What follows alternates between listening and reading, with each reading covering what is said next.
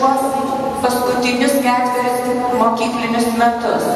Na, daug jų mes su visko prilinkėjus, daug pamokius ir pavarus, tai paskutinį kartą dar apibendrinkim. Nebijokite siekti sėkmės. Ji niekam neteina lengvai. Tačiau nebandydami daug ką prarasite. Pasitikėkite savimi, imkite ir darykite. Ant sidabrinio padėkliuko niekas nieko net neš. Nebijokite pasirinkimų. Jums pasisekė, kad gyvename laisvoje šalyje ir galime įgyvendinti savo siekius. Nepameskite ir vertybių.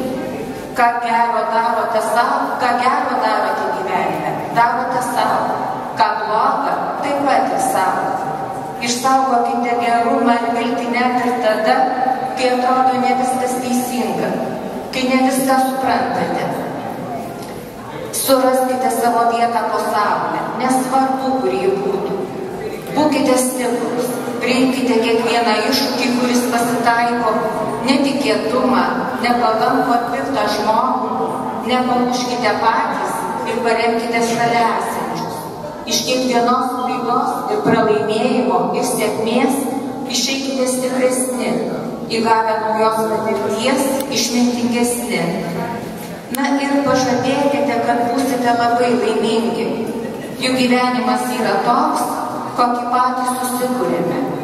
Taigi linkiu gražios likusios šventės ir visus apkabinu.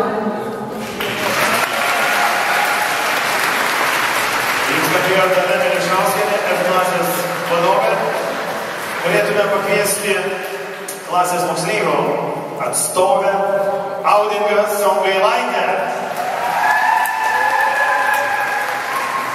Tik tai visos mano klasės vardu norėčiau padėkoti mūsų auklėtojai, kuri mus ne tik ganė visus šios ketverius metus, bet taip pat ir mokė lietuvių kalbos, įvairias išvykas organizavo ir aš manau, kad mes jūs tikrai visi prisiminsime ir prisiminsime praleisti laiką kartu kabinete, kuriame visada yra karšta